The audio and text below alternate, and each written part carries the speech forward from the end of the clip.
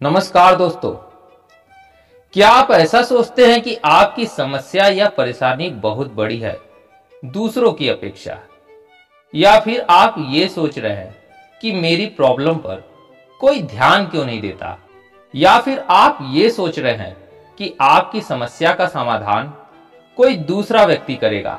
तो दोस्तों, यहाँ पर भी आप गलत ही सोच रहे हैं, क्योंकि पहली बात, आप अकेले नहीं हैं जिसके जीवन में किसी प्रकार की समस्या या परेशानी है, क्योंकि आज हो या कल कोई भी व्यक्ति ये नहीं कह सकता है कि मुझे कोई समस्या या परेशानी नहीं है। अगर कोई ऐसा कहता है तो दोस्तों यकीन मान लो वो सच नहीं बोल रहा है।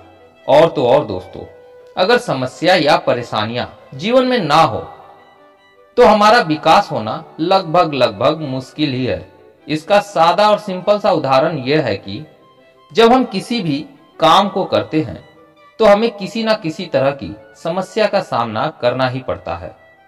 जब हम उस समस्या का सामना करके उसे पार करते हैं, तभी तो हमें सफलता मिलती है ना। तब जाके हमें असली आनंद मिलता है, खुशी मिलती है। तो दोस्तों, एक तरह से देखा जाए तो समस्या तो सही मायनों में हमारी सबसे बड़ी शिक्षक है। जो हमें जीवन में, समस्या के रूप में हमें शिक्षित करती रहती है और उसी शिक्षा के आधार पर हम जीवन में आगे बढ़ते हैं। इसलिए जीवन में जितनी भी समस्याएँ आती हैं तो आप इसे इस तरह से समझिए कि आपकी समझ उस क्षेत्र में और ज़्यादा बढ़ने वाली है। और दोस्तों, समस्याओं का समाधान चाहते हो तो आपको ये कहानी ज़रूर सुननी चाहिए, जिसमें बताया गया है कि हम अपनी समस्याओं से कैसे पार जा सकते हैं। तो चलिए सुनते हैं आज की इस कहानी को। किसी शहर में एक व्यक्ति था। वो हमेशा दुखी रहा करता था।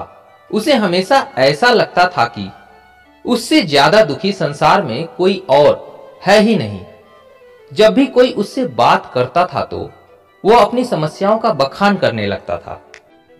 थोड़ी देर में साथ वाला व्यक्ति उठकर चला जाता था। इस बात से तो वो और भी परेशान हो जाता था कि उसकी बात को कोई सुनने वाला भी नहीं है। एक दिन उसे पता चला कि शहर में कोई महात्मा आने वाले हैं, जिसके पास सभी समस्याओं का समाधान है। यह जानकर वो महात्मा के पास पहुँचा। उस महात्मा के साथ हमेशा एक काफिला चलता था, जिसमें ढेर सारे ऊँट भी थे। महात्मा के पास पहुंचकर उस व्यक्ति ने कहा, गुरुजी, मैंने आपका बड़ा नाम सुना है कि आप सभी समस्याओं का समाधान करते हैं। मैं बहुत दुखी व्यक्ति हूँ। मेरे इर्द गिर्द हमेशा बहुत सारी समस्याएँ रहती हैं। एक को सुलझाता हूँ तो दूसरी पैदा हो जाती हैं। मैं अपनी आप बीती किसी को सुनाता हूँ तो कोई सुनता ही नहीं है। दुनिया बड़ी ही मतलबी हो गई है। अब आप ही बताइए मैं क्या करूँ? महात्मा ने उसकी बातें ध्यान से सुनी और कहा, भाई, मैं अभी तो बहुत थक गया हूँ, परंतु कल सुबह मैं तुम्हारी समस्या का समाधान अवश्य करूँगा।